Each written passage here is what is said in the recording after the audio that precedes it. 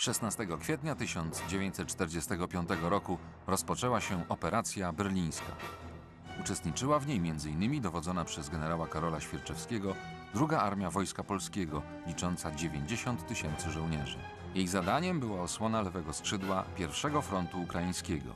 Jednak Świerczewski zdecydował się szybko opanować Drezno. Kiedy część oddziałów podeszła pod to miasto 21 kwietnia, w skrzydło rozciągniętych nadmiernie oddziałów polskich weszły silne niemieckie jednostki pancerne. Uderzenie niemieckie doprowadziło do rozcięcia ugrupowania II Armii na pół i zagłady licznych jednostek. Zawiodło dowodzenie. Dopiero kosztem wielkich strat udało się ustabilizować linię frontu. Bitwa budziszyńska zakończyła się pyrrusowym zwycięstwem oddziałów polsko-sowieckich. Podawane oficjalne straty II Armii porażały. Poległo blisko 5 tysięcy żołnierzy. Niemalże 3 tysiące uznano za zaginionych, rannych było ponad 10 tysięcy. Nawet symbol męstwa i ciężkich strat bitwa drugiego Korpusu Polskiego Monte Cassino w maju 1944 roku pochłonęła wielokrotnie mniej ofiar. Tam poległo około tysiąca polskich żołnierzy. Co zatem wydarzyło się w końcu kwietnia 1945 roku na Łużycach pod Budziszynem? Jak mogło dojść do tego dramatu, śmierci tak wielu żołnierzy i to zaledwie na dwa tygodnie przed zakończeniem II wojny światowej? Oto pochodząca z 1946 roku relacja generała Świerczewskiego o bitwie pod Budziszynem. Dnia 12 kwietnia, zgodnie z ogólnym planem operacyjnym, był wydany rozkaz sforsowania Nysy, przełamania obrony nieprzyjacielskiej, osiągnięcia Łoskiłku trzeciego dnia operacji linii Buchwalde, Königswarta, Budziszyn i natarcia na Drezno.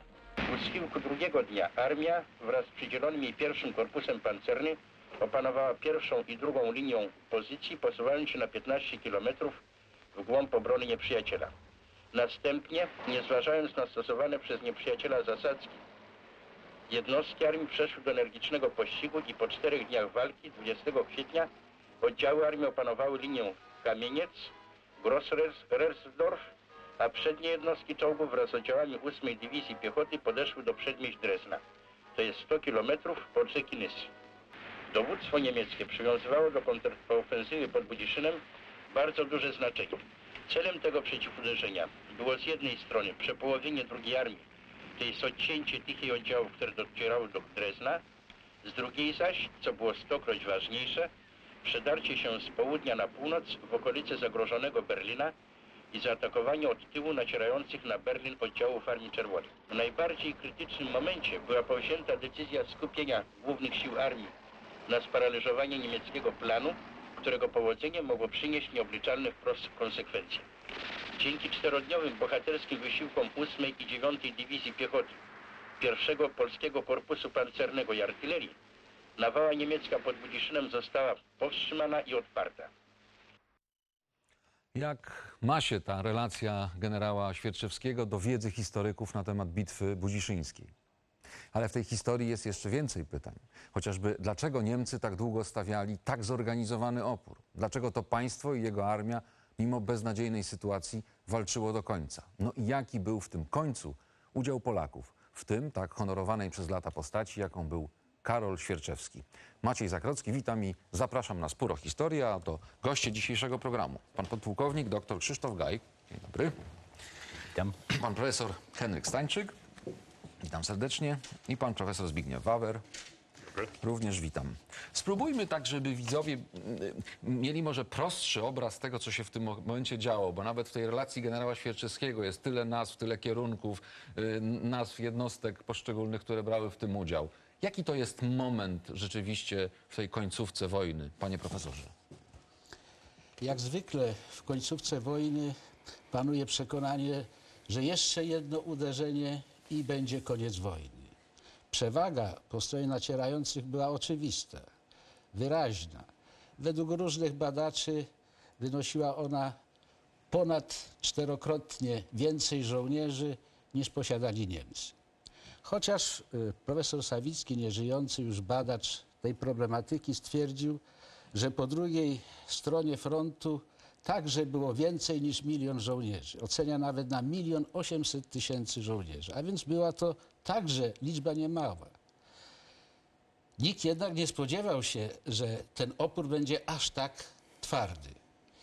Tymczasem okazało się, że Niemcy, mimo beznadziejnej już wydawałoby się sytuacji, jednak do końca stawiali bardzo zdecydowany opór. No, tym Wszędzie bardziej, tam, że gdzie było to symboliczna możliwe. oczywiście dla nich była i ważna, i, i, i propagandowo ważna no, obrona Berlina. I właśnie tutaj dochodzimy do tego punktu, który jest głównym tematem naszego dzisiejszego spotkania. E, jakie było zadanie dla polskiej armii, dla Świerczewskiego w tej operacji berlińskiej? Myślę, że Najprościej, jak nie, no, moglibyśmy to marszałek Koniew to jest pierwsza podstawowa rzecz. Zadanie dla drugiej armii to było dojście do Drezna i opanowanie Drezna. Po drugie, yy, osłona była od południa, tylko nikt marszałkowi Koniewowi i rozpoznaniu frontu zniknęła z, zgrupowanie feldmarszałka Schernera. Oni nie wiedzieli, że ono jest tak silne i ma tak doborowe jednostki w tym składzie. Liczono, że to już jest rozbite po wielu, wielu tam wcześniejszych działaniach, że nie będzie groźne. Okazało się, że było bardzo groźne. Dlatego trzeba powiedzieć, że zadanie na Drezno nie jest to zadanie wyznaczone przez dowódcę drugiej armii. To trzeba od razu powiedzieć. To jest zadanie wyznaczone przez dowódcę frontu. A myślę, że to ma też charakter polityczny, dlatego gdyż z drugiej strony coraz szybciej zbliżali się w kierunku Saksonii Amerykanie. I cały czas liczono, kto pierwszy zajmie to Drezno. E, Przecież to jest wyścig o to, kto będzie panował nad tym terenem. Trzeba pamiętać, że dalej za Dreznem znajdują się bardzo e, już w stronę zachodnią były fabryki niemieckie zbrojeniowe. Kto pierwszy je zajmie, kto pierwszy wywiezie, ten wywiezie nowoczesne technologie. E, Panie pułkowniku, tu już padło takie zdanie, że to właściwie no, no nie jest decyzja Świerczewskiego, tylko, tylko, tylko Koniewa. Czy możemy w takim razie odrzucić ten często przywoływaną tezę, że, że, że to jego jakiś szalony pomysł, nieprzemyślany zupełnie, samowolny? No, myślę, że tego rodzaju samowola na tym szczeblu raczej nie miałaby miejsca. Może pochylmy się nad mapą, którą tutaj przygotowałem, która pozwoli nam ustosunkować się do tych wypowiedzi, do relacji generała Świerczewskiego. Jak to wyglądało? Ogólna sytuacja operacyjna wyglądała wtedy w ten sposób, że oddziały niemieckie zajęły obronę na linii Nysy Łużyckiej. Po drugiej stronie był pierwszy front ukraiński. Południ- na południowym jego skrzydle 52 Armia, dalej druga Armia Wojska Polskiego i jeszcze bardziej na północ 5 Armia Gwardii. I tak wyglądały te kierunki działań. Na Drezno drugiej Armii i na Budziszyn 52 Armii. Padło zdanie, że gdzieś umknęło uwadze potężne, doborowe zgrupowanie Wojsk wojsk niemieckich. niemieckich. Myślę, że tutaj należałoby mm, pochylić się, poświęcić nieco uwagi y, zagadnieniom organizacji wojsk. O ile normą w dywizjach niemieckich było posiadanie batalionu rozpoznawczego na poziomie dywizji, o tyle dywizje organizowane według etatów radzieckich posiadały tylko kompanie. Generalnie rozpoznanie po stronie radzieckiej w postaci typowych jednostek rozpoznawczych było bardzo zaniedbane. Wielu historyków e, zarzuca generałowi Świerczewskiemu, że nie zadbał o należyte rozpoznanie. I ja też się przyłączam do tej krytyki, no bo dowódca armii odpowiada za to, jak przeciwnik został rozpoznany. To nieprawda, że nie zostało rozpoznane zgrupowanie niemieckie. To było zgrupowanie operacyjne, ale ono nie znajdowało się przed drugą armią, natomiast znajdowało się na południe od drugiej armii, właściwie na kierunku sąsiedniej 52 armii. Generał Świerczewski miał więc prawo sądzić, że to jest problem 52 armii, jak sobie poradzić z tym zgrupowaniem niemieckim. Zresztą początkowo to zgrupowanie było nieliczne. Jeśli dobrze pamiętam, to była tylko jedna dywizja pancerna i chyba jedna dywizja piechoty. Dopiero później, przed operacją, to zgrupowanie zostało zwiększone do dwóch dywizji pancernych i dwóch dywizji piechoty, a nawet w niektórych źródłach znalazłem, że była tam jakaś dywizja grenadierów pancernych. Trzeba też pamiętać o tym, że dowódca czwartej Armii Pancernej Niemieckiej początkowo dysponował, jeśli dobrze pamiętam, 18 dywizjami, a już bezpośrednio przed operacją miał ich 24. A więc to były siły znacznie większe. Należy zadać sobie pytanie, dlaczego tak niefrasobliwie rozpoznawano ruchy wojsk niemieckich. Przecież dowódca pierwszego frontu ukraińskiego miał drugą armię lotniczą. To była potężna siła i można było ten teren rozpoznawać. No to panie Odpowiedź- profesorze, może pan znajduje odpowiedź na to Nie, pytanie. no, ja myślę, że jedna rzecz, która umknęła i to dowódcy pierwszego frontu, dowódcy drugiej armii, że w miejscowości Königswarta znajdowały się składy uzbrojenia amunicji niemieckie. To były największe składy, można powiedzieć, w tym rejonie, w tej części Niemiec. E, wiadomo, że tak jak w 1939 roku generał Kleber próbował się przebić do stawów pod Dęblinem, tak samo, żeby zaopatrzyć się, uzupełnić amunicję, na drodze do Berlina były te składy. Trzeba było je zdobyć. Wszystko się, dlatego na tym odcinku zostały rzucone dywizje pancerne, żeby dojść. Nikt z naszych dowódców o tym nie, patrzy, nie patrzył na to. Po drugie, e, już panowała wtedy taka opinia, to jest koniec wojny, ten niemiecki opór to już jest taki słaby. To już nie ma co na to patrzeć, my szybciej będziemy w tym Dreźnie. Przecież było tak, no niedługo w tym Dreźnie będziemy defilowali, zatkniemy na Zwingerze biało-czerwoną, bo już nie było na czym zatykać, jedyną niezniszczoną w centrum e, budowlą był Zwinger, zatkniemy flagę, no i będziemy się cieszyli, to już jest po prostu po wojnie. Trzeba pamiętać jeszcze jedną rzecz o czym nie mówimy. Druga armia jest to armia, która powstała, jest to zupełnie inna armia od pierwszej armii. Tam są jednostki, które już przeszły. Wał Pomorski, Kołobrzeg. Natomiast druga armia jest to armia, która została z, zmobilizowana na terenach Polski. W znacznej części żołnierzy też Armii Krajowej i Batalionu Chłopskich. Pierwsza przecież myśl o użyciu tej armii to było y, na Wrocław miała atakować w czasie działań na Wrocław. Dopiero później została przerzucona w tym kierunek. Była to jeszcze armia niewyszkolona w pełni do działań. Ona nie była zgrana. Po To był jej Świercz- debiut. Debiut. Po drugie, Świerczewski nie był orłem w dowodzenia, bo jak wszyscy pamiętamy, e, on w historii e, dowodzenia w czasie wojny tam od 1941 roku nie zapisał się e, nawet w historii Armii Czerwonej jakimiś złotymi No orłem nie był, ale tu pan profesor trochę jednak usprawiedliwia Sierczewskiego, tak? Że, że no między innymi na przykład dlaczego z tym zwiadem lotniczym było tak słabo? Dlaczego nie skorzystano z informacji, które z powietrza można było zebrać i zorientować się, jaka jest rzeczywiście siła Niemców w tym miejscu, Tak, panie ale z drugiej strony zasady sztuki mówią, że nawet jeżeli nie ma się wystarczającej ilości oddziałów i pododdziałów typowo rozpoznawczych, nie zwalnia to dowódcy z obowiązku prowadzenia rozpoznania różnymi innymi środkami. Ja mam wrażenie, że tutaj e, na szczeblu armii, na szczeblu frontu i na niższych szczeblach dopuszczono się do bardzo wielkich zaniedbań. I to może tu jedną rzecz. Głównym celem w ogóle pierwszego frontu białoruskiego, e, ukraińskiego był Berlin. Koniewowi tak Uderzenie od tak, południa. Tak, przecież to była walka dwóch marszałków. Żukowa i Koniewa. Przecież I Stalin rozgrywał. I to jest ten Budziszyn, Drezno. To była, w ogóle dla nich nie było ważne. Oni mogli stracić tam setki tysięcy żołnierzy. Najważniejsze było wysłać armie pancerne na Berlin i dojść pierwszemu do bramy brandenburskiej.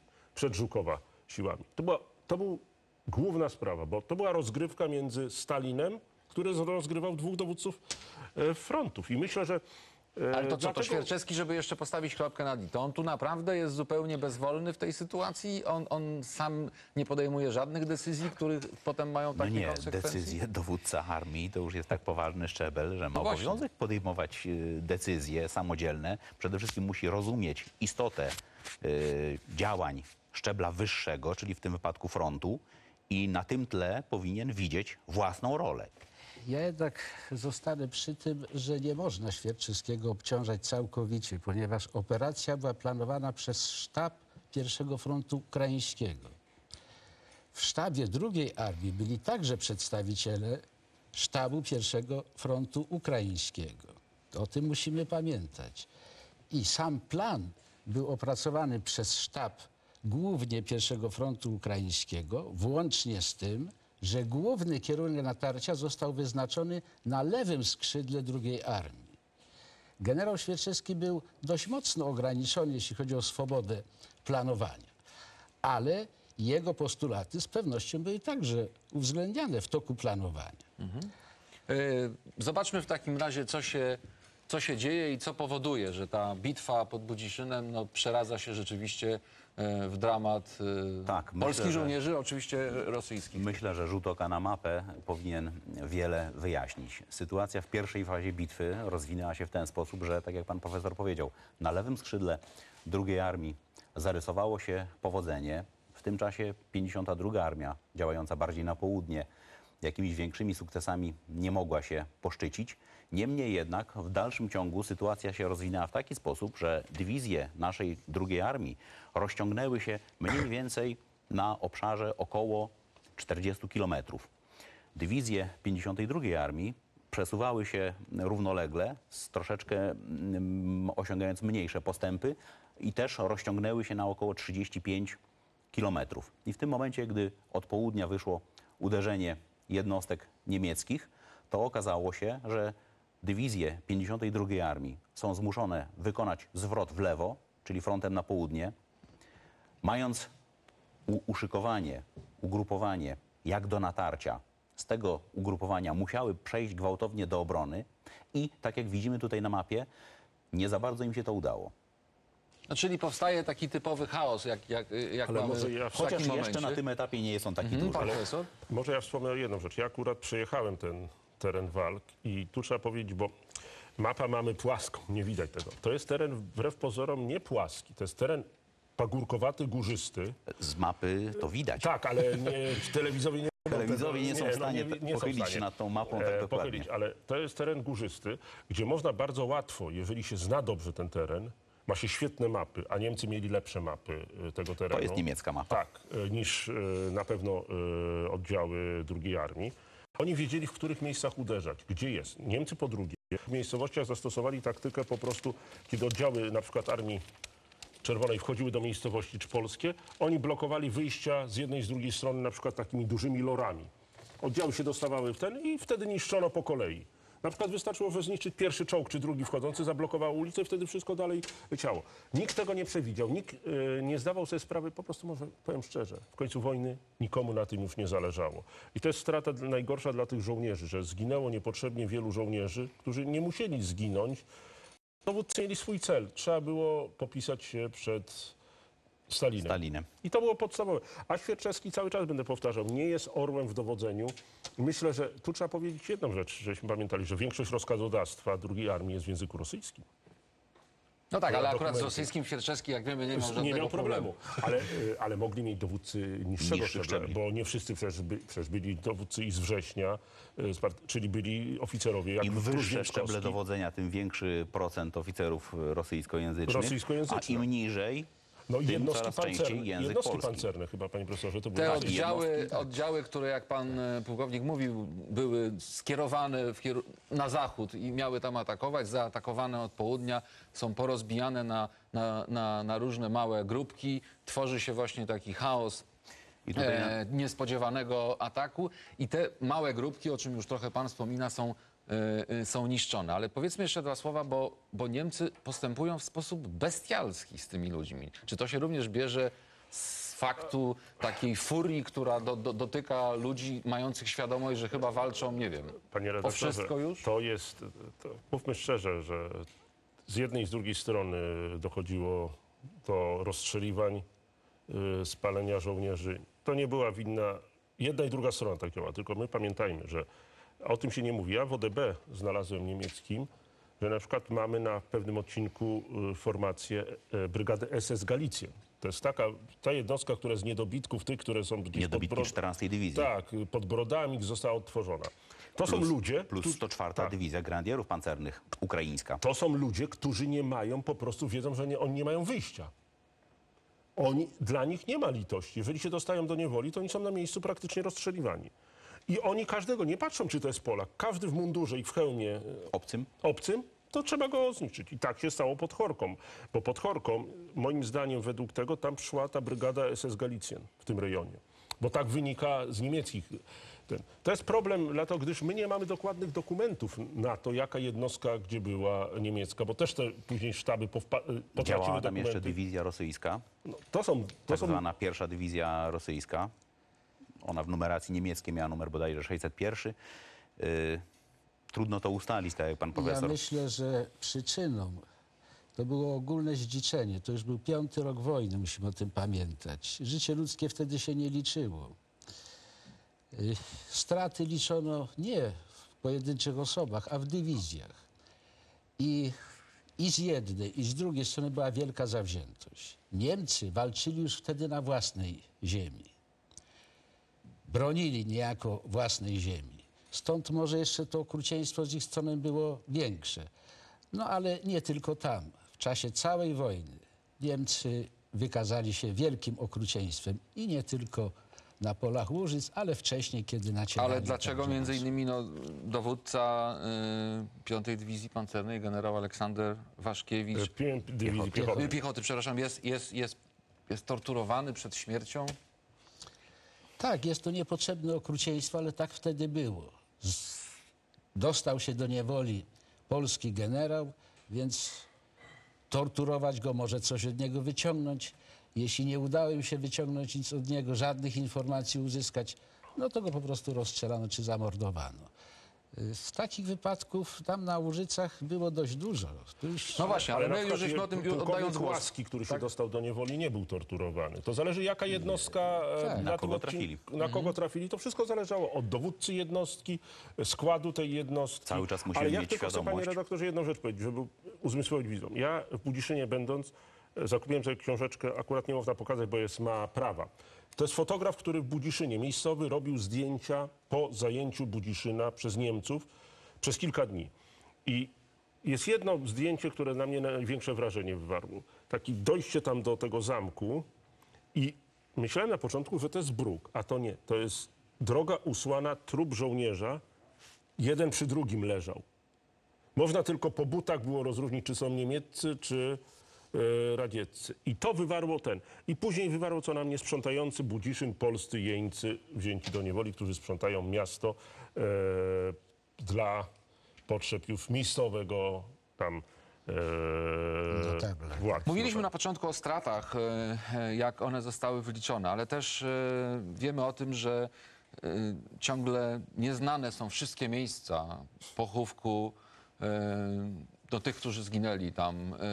Czy w tej sprawie mm, coś się może wydarzyć, co nam trochę e, przybliży i, i, i wiedzę o tych miejscach i, i o, o skali tej tragedii? Nie sądzę. Y, W tej chwili zaprzestano takich badań i takich poszukiwań. Y, Jeszcze w latach 70. y, z Wojskowego Instytutu Historycznego była wysłana taka grupa trzech osób, y, na czele której stał pułkownik Wołoszyn, Y, ale z niewiadomych mi bliżej przyczyn y, po pewnym czasie działalność tej grupy została zatrzymana, grupa ta wróciła do Polski i nie dokończono tych ekskumacji, chociaż wiem, że odnaleziono wiele miejsc wtedy pochówku polskich y, właśnie żołnierzy na Łużyce. Tu jest sprawa właśnie też to, co pan profesor powiedział, sprawa cmentarza w Zgorzelcu. W pewnym momencie nagle przyszedł rozkaz zaprzestać ekshumacji, jak cmentarz był tworzony, tyle i tyle ten. Ja myślę, że też nie chciano budować cmentarza, na którym by leżało 5 tysięcy albo więcej ofiar, bo raczej on miał być podobny do tego, który jest w Siekierkach. Ale pan mówi przyszedł rozkaz, to znaczy E, od wie kogo? pan, No. no, Ja nie wiem, nie znalazłem takiego, ale wiem, że komisja nagle, bo oglądałem te dokumenty, nagle komisja zaprzestała po prostu badania i ekshumacji tych żołnierzy. E, Wie pan, trzeba jedną rzecz powiedzieć, że te trzy tysiące, które jest zaginionych, to prawdopodobnie 90% z tego to są żołnierze, którzy zginęli. Albo nie odnaleziono ciał, Albo więcej niż 90. Albo więcej. To są ci żołnierze pochowani y, w grobach. Na przykład mnie pastor w jednej z miejscowości powiedział i pokazał, że na tym, i ta, tym cmentarzu w grobie radzieckim jest tylu i tylu żołnierzy polskich. Wie pan, ja powiem, to, to nie jest tylko tam. Do tej pory w Berlinie znajduje się, pułkownik Kaur mi opowiadał, na placu zabaw kwatera poległych żołnierzy polskich, których nigdy nie ekshumowano. Ja myślę, że tu nie chciano tworzyć takiego precedensu. Wie pan co, to był cmentarz 8 tysięcy e, żołnierzy poległych. To, jest, to by w, w pewnym sensie no, rzucało ludziom się w oczy. I po drugie, dlaczego się nikt teraz tym, tym nie zajmuje? Wie pan co, na pomniku jednym w Chorce znalazłem? Pomnikiem opiekuje się młodzież z Bundeswehry. To znaczy, żeby nie opiekowała się ta młodzież z Bundeswehry, to pewnie by się nikt tymi pomnikami nie opiekował żołnierzy drugiej armii. To jest przykre, że nikt nie pamięta o tych żołnierzach w tej chwili, bo oni nie są mm, dobrze postrzegani. Ale troszeczkę jeszcze na koniec usystematyzujmy, no bo pan właśnie mówił, wstrzymano, yy, nie wiadomo dlaczego. Czy moglibyśmy jakiś taki kalendarz działań krótki przedstawić związany z upamiętnieniem tych ludzi i dlaczego podejmowane były panów zdaniem takie decyzje? Czy one jednak się wiążą z tym złym yy, mitem bitwy budziszyńskiej, który się chciało ukryć wraz z ukrytymi ciałami właśnie żołnierzy? Nie sądzę, żeby tak było. Po prostu jest to niezwykle trudna sprawa. No, mówiliśmy o tym, że pomiędzy Nysą Łużycką a Dreznem to jest odległość 100 kilometrów. Bitwa się rozgrywała na dużym obszarze. W różnych miejscach ginęli ci żołnierze. I tych, których zdołano ustalić i tożsamość i znaleziono, starano się ekshumować do Zgorzelca i tyle osób, które się udało w tym pierwszym momencie odszukać, tam zostali pochowani. Jest to cmentarz ładnie urządzony. Co do tego, tutaj nie można mieć zastrzeżeń. Proponuję rzucić okiem Ale na nie mapę. udało się wszystkich tych żołnierzy znaleźć. Na, na tej mapie mamy przedstawioną sytuację z końcowego etapu bitwy, gdzie wojska polskie i radzieckie zostały zepchnięte daleko na północ. Ten cały obszar został zajęty, na którym wcześniej były jednostki radzieckie i polskie, został zajęty przez Niemców. Pamiętajmy o czasie. Pamiętajmy o tym, że to była wiosna. Zwłoki szybko się rozkładały. W związku z tym nawet ludność cywilna, ta, która gdzieś tam ocalała, starała się robić pochówki i oczywiście, robiąc te pochówki, nie dokumentowała tego w żaden sposób. Jeżeli ktoś gdzieś zapamiętał, to wskazał. Nie wiedziano, gdzie niektóre oddziały się w ogóle znajdują. Później, po wojnie, nie można było ustalić miejsc, gdzie ci żołnierze poginęli. Wie pan, y, ja powiem szczerze, ja, ja spotkałem na terenie, to niedaleko, Czech już z dalszej operacji praskiej, groby, które są z 9 maja. Wie pan, czy to warto by było pokazywać na polskim cmentarzu w Zgorzelcu, że żołnierze giną 9-10 maja, czyli już po zakończeniu wojny, a polscy żołnierze drugiej armii ginęli jeszcze wtedy. Może my sobie o tym nie zdajemy sprawy, ale walki toczyły się na terenie Czech jeszcze przez ten czas. To smutna konstatacja i na koniec naprawdę ostatnie zdanie. Czy y, generał Świerczewski po tym wszystkim, co mówimy i po tym, jak po 1989 roku właściwie się przestało już mówić o bohaterze, który się kulą nie kłaniał, rzeczywiście zasługuje dzisiaj jedynie na, na złą markę i, i, i ostrą krytykę? No niestety generał Świerczewski nie miał szczęścia w dowodzeniu. Napoleon kierował się tym, czy dany dowódca ma szczęście, czy też nie ma szczęścia. Jeśli chodzi o przygotowanie teoretyczne generała Świerczewskiego, no nie było wcale słabe. On był doktorem nauk wojskowych. Był jednym z najbardziej wykształconych polskich oficerów. Jeśli chodzi o doświadczenia bojowe, przecież on miał duże. On brał udział w rewolucji październikowej. On brał udział w wojnie polsko-bolszewickiej po stronie Armii Wojnie Czerwonej. domowej Hiszpanii i tak dalej. No Brał to udział wiem. w wojnie domowej w Hiszpanii. Dowodził 248 Dywizją Piechoty, która spotkała w rejonie Wiaźmy Zagłada. Zostało, jeśli dobrze pamiętam, pięciu żołnierzy i Świerczewski. I niestety także pod Budziszynem tu się nie popisał. No, ale jest taka opinia, panie profesorze, że czasami też nie był w pełni sprawny, Ale on dowodząc. No, podobno, no, pił, a po drugie prawdopodobnie jednak był NKWD-stą. Dokumenty teraz współczesne dowodzą, że jednak w, był e, związany z tymi służbami, dlatego gdyż po takiej klęsce pod Wiaźmą, żeby nie, nie był z nimi związany, prawdopodobnie by go nie ominęło albo roz, położyć głowę. rozstrzelanie, albo karna kompania. Był związany na pewno też prawdopodobnie z NKWD. My nie mamy rosyjskich dokumentów jego teczki personalnej. I to jest problem. Warto by było, żebyśmy kiedyś dostali teczkę personalną tego, bo jemu się wszystkie... Rosyjską. Rosyjsko. Wszystkie niepowodzenia y, y, Świerczewskiemu się uchodzą płazem. Wielu dowódców radzieckich trafiało do karnych kompanii lub pod ścianę, a jemu się nic nie ich. stało. Degradowano, jemu nic się nie stało. Przecież normalnie Koniew powinien każdego dowódcę swojego by zdjął po operacji No, Ale z drugiej, z drugiej strony można spojrzeć na to w ten sposób, że dla Stalina było to wygodne, że polscy żołnierze giną pod polskim dowództwem i w związku z tym taki dowódca, któremu nie dopisywało żołnierskie szczęście, który popełniał karygodne błędy, podstawowe błędy w sztuce i gdy generowało to straty, Strasznie to wszystko smutno, Było to dla ale Stalina polityka i wygodne. wojna to są strasznie okrutne rzeczy. Rozumiem, że czekamy na możliwość sięgnięcia do do teczki Świerczewskiego, aby do końca poznać tę postać. Pamiętajmy o żołnierzach Bogu Ducha Winnych, którzy zginęli pod Budziszynem. Dziękuję panom za spotkanie, państwu za uwagę. Do zobaczenia. Ta pamięć im się należy.